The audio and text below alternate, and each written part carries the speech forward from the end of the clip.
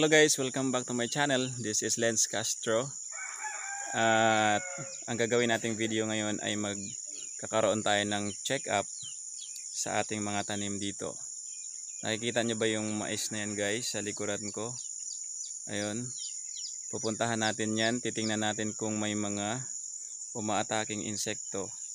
At para malapatan natin ng angkop na insecticide.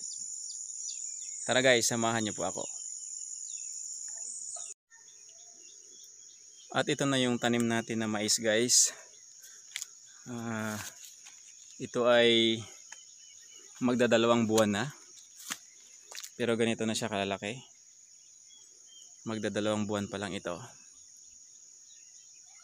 Ang gagawin natin ngayon guys ay titingnan natin ngayon kung anong mga insekto ang umatake sa ating mais.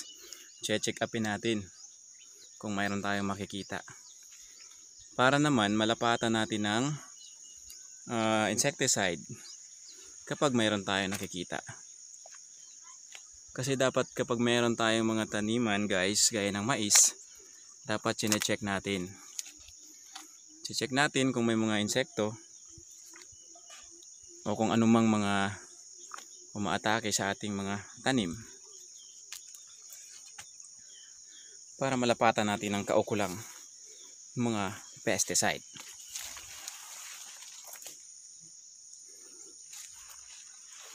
Ito, hahanapin natin, titingnan natin. So, sa punong ito, wala tayong nakikitang anumang mga damage. Usually naman, uod lang naman ang umaatake sa ganitong mga tanim. Tanim na mais hahanap tayo sa ibang area kung mayroon tayong makikita ng mga damage o mga sakit. Doon sa bandad doon may nakikita ako. Uh, oops.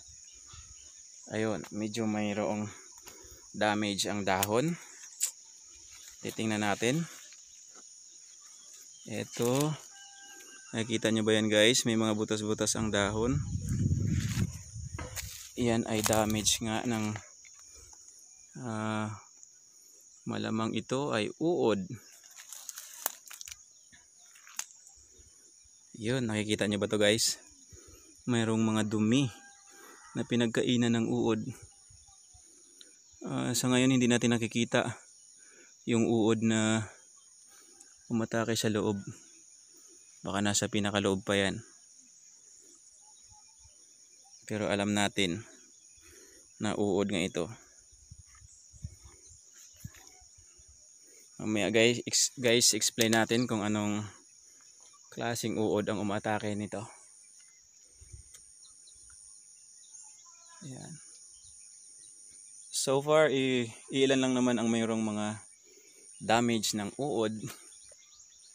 Mostly naman malulusog at magaganda ang tubo. Pero try natin sa ibang area kung mayroon pa tayong makikita ang mga uh, atake ng uod na ito. Anong klaseng uod ba ito? At ano dapat ang ating gagawin to protect our corn? At ito pa. Ito ito talaga severe damage ng uod.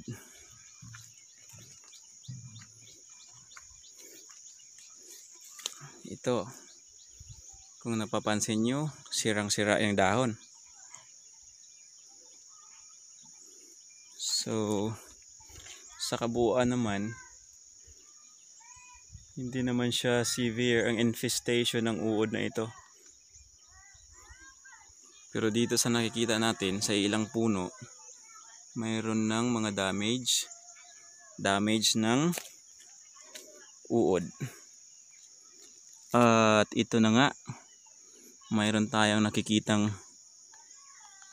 uh, maninira. Ito nga, pisting uod na to. Ito. Titingnan natin guys, nakikita natin siya. Lapitan natin Oh, yan. Ikaw yung nagda-damage ng mais ko. Yan. Pasaway itong uod na to. At yan guys, ang nakikita nyo na yan. Yan. Yan ang damage na dulot ng uod. At ang uod na yan ay tinatawag nating fall army worm.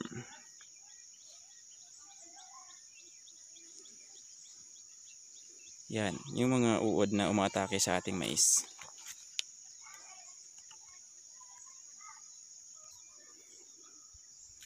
Okay, iikutin pa natin ang ibang mga area para makikita talaga natin kung konti lang ba talaga ang inatake ng uod or mas marami. Para nang sa ganon, magawaan natin ang aksyon. Ayan guys, meron din yung mga damage yan na nakikita nyo. Parang mga dahon na butas na pinagkakain ng mga uod na yan. Kinakain ng larva. Ayan. Ito pa. Oops, parang medyo ano ah. Kailangan na talaga natin siguro mag-apply ng insecticide dito. Ito guys. Mamaya explain natin kung anong dapat natin gawin at kung bakit nangyayari ito. Ito guys mayroon pang damage ng fall army worm yan. At mayroon pa ako nakikita sa bandang itaas na ito. Kung saan pa naman na medyo matataba yung puno. Ito talaga oh. Grabing damage na gawa na ito oh, oh sirang sira talaga. Tingnan natin guys kung ano ang effect ng damage ng uh, uod na ito. Makakapagbunga pa ba kaya ang ating mais kapag inatake ng mga ganitong mga insekto? Nakikita nyo ba yung dumi na pinagkainan nyo guys? Oh yan.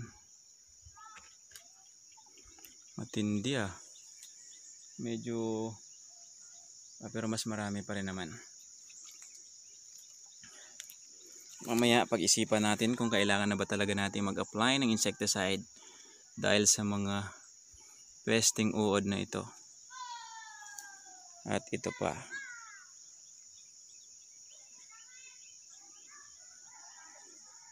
magkadikit. Pero posibleng magkahawaan ito kapag hindi nalapatan ng gamot. Ito pa. Ah, sobrang dami ng dumi na pinagkainan ng uod na ito.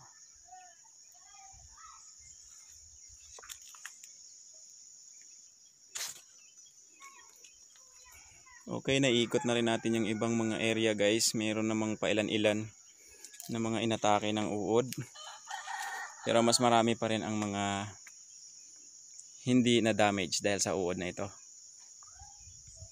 pero sa tingin ko parang kailangan na talaga nitong applyan ng insecticide para hindi na mahawaan yung iba kasi ang tendency niyan kapag naubos na nilang isang dahon ng kabilang puno, ng isang puno pwedeng lilipat sila sa ibang puno naman Nakikita nyo guys ang mga ang tindi ng damage ng uod na ito. Ngayon i-explain ko po sa inyo guys kung anong klaseng uod ito at ano ba yung ginagawa niya at ano ba yung dulot o effect ng atake ng uod na ito.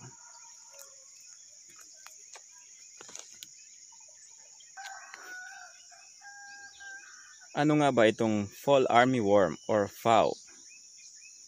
Ang fall armyworm ay isang uri ng uod na ang kawan ay nakakapinsala sa dahon, puno at bunga ng higit pa sa 350 uri ng halaman. Ito ay kayang magdulot ng matinding pinsala sa mga mahalagang pananim gaya ng mais, palay, tubo or sugarcane, gulay at iba pa.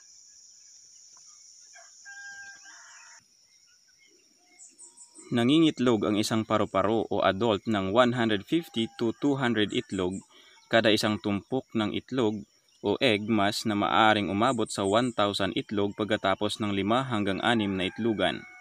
Ang adult nito o moth stage ay kayang maglakbay ng 100 km sa isang araw. Mabilis dumadami at maaaring magdulot ng mahigit 70% na pagbaba ng ani. Ang fall armyworm ay may maliliit at manilaw-nilaw or yellowish na itlog o egg mass. Ang bagong pisang uod ay mas madaling sugpuin habang ito ay maliliit pa. Matapos kumain, nagiiwan ang uod ng mapula-pulang dumi o frass.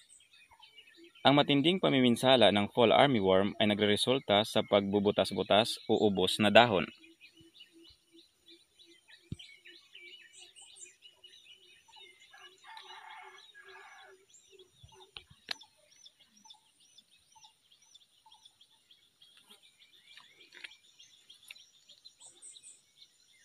Ayan guys ang resulta ng mga kinainan ng uod na fall armyworm.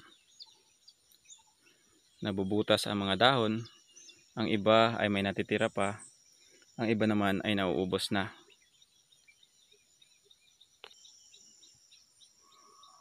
Ano ba ang pwede nating i-apply na insecticide sa ganitong klase ng uod?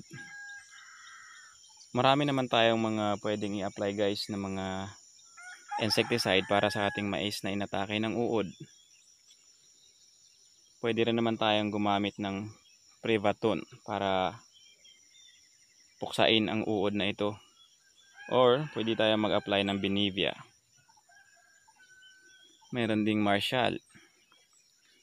Yan guys ay mga product ng uh, ah, FMC pero kung mayroon kayong iba pang gustong i-apply na insecticide, malaya naman tayong gumamit guys ng kahit anong klaseng mga insecticide o kahit na galing sa ibang mga company. Sa akin kasi, kung ako ang magde-decide, pwede ko itong applyan ng Privaton, Benevia, or yun ngang Marshall. So guys, ito na nga yung nakita natin sa ating uh, maisan. Inatake nga siya ng uod. At ang purpose natin, kaya natin chine-check para ma-applyan natin ng gamot para hindi nakakalat at dadami pa. So that's all for today guys. Thank you for watching. At sana guys, sa susunod na mga video, abangan nyo pa. Huwag nyo po sanang kalimutan na mag-subscribe, i-like, at i-share ang ating video. Thank you so much. Bye.